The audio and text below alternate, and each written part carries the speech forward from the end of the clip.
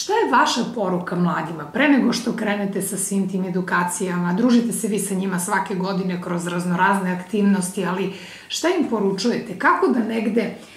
kontrolišu svoju radoznalost i usmere se ipak ka svom zdravlju i ka onome što je dobro?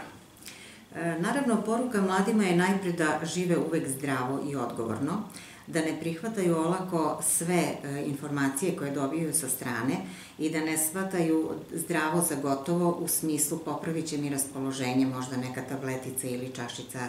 alkohola ili nešto što gotovo zna sigurno da neće koristiti njegovom zdravlju, već znači moraju da u svakom trenutku znaju da njihovo raspoloženje e, je proizvod druženja sa njihovim pravim i iskrenim prijateljima, da je njihovo raspoloženje proizvod dobre fizičke aktivnosti, vožnje bicikle, rolera, plivanja u bazenu možda, da je proizvod možda nekog dobrog odiledanog filma ili dobro raspoloženje kao posljedica do ovaj, pročitane knjige. Znači, ulaganje u sebe,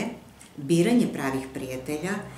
slobodno vreme maksimalno da se iskoristi na najbolji i najzdravniji mogući način, a da sve one pričice koje na veštački način pokušavaju da podignu stepen raspoloženja svakako ne stoje i sigurno vode u sunovrat kad je u pitanju zdravlje.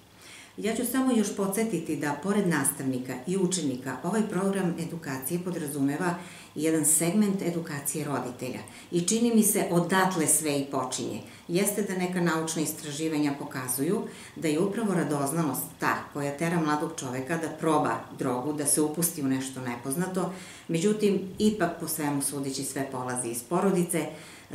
sva nesigurnost, sva ta nesređenost, nezadovoljstvo koje jedan mlad čovek kasnije pokazuje u društvu, uopšte u kontaktu sa drugim ljudima, upravo je proizvod nekakvih rastvorenih porodica, nesređenih porodičnih odnosa, gde ima i prisustvo alkoholizma, gde ima i prisustvo, nažalost, bolesnih roditelja koji su pod dejstvom velikih količina lekova, sedativa najčešće, gde ima dosta svađa i rasprava iz tih rasturenih porodica, gde dete ne dobija pažnju u pravoj i velikoj meri koliko mu je potrebna, gde se osjeća zapostavljeno, gde niko nema vremena da čuje njegovo mišljenje, a to je detetu jako potrebno, onda izlazi iz takve kuće gotovo na ulicu tražeći, jer prirodno ima potrebu da se nađe u nekom društvu, da ima nečiju pripadnost i poštovanje nekoga i najčešće sklizne, da tako kažem, upravo u ove sumnjive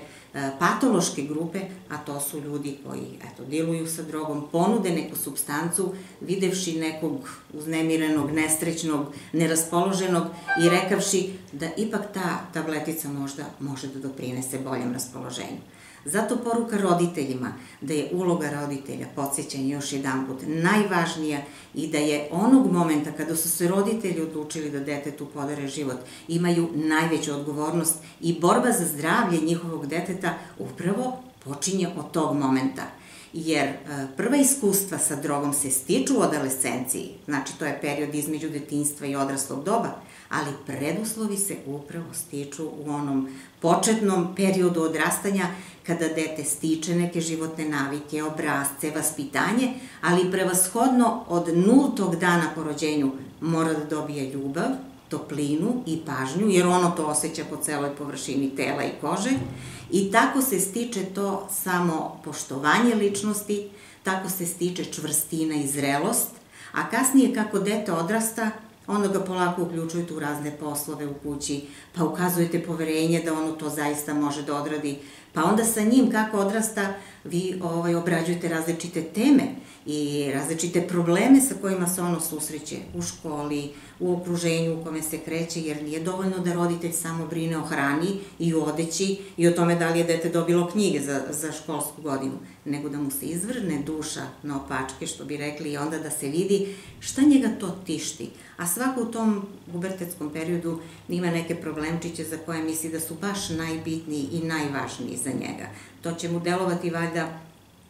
nekada kasnije i malo smešno, ali u tom periodu to je za njih najveći problem. Da li su lepi, da li su prihvaćeni, da li su se zaljubili ili nisu. Znači, u svi tim najbanalnim stvarima, pa do trenutka kada vide da se sa detetom zaista nešto zbiva, da se dete povlači, da ne misli na svoj fizički izgled, da provodi sate zaključano u svojoj sobi ili u WC-u, da se tu preko telefona javljaju neki pozivi anonimni, pa se spusta slušalica ukoliko roditelj bude se javio na telefon, da dete troši novac u mnogo većim količinama nego što je to bilo do tada, da mu nedostaju neke stvari od garderobe ili nedostaju ili nestaju stvari iz kuće, u smislu zlata, novca ili slično, onda je to već alarm da se sa detetom nešto zbiva.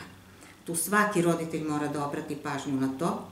i da taj, e, te upućene simptome u stvari prepozna kao urlik ili vapaj deteta da mu se pomogne. U tom smislu treba da se potraži i stručna pomoć, ne treba sakrivati problem i ne treba bežati od njega, jer ukoliko samo na vreme budemo reagovali, uspeh će biti zagarantovan.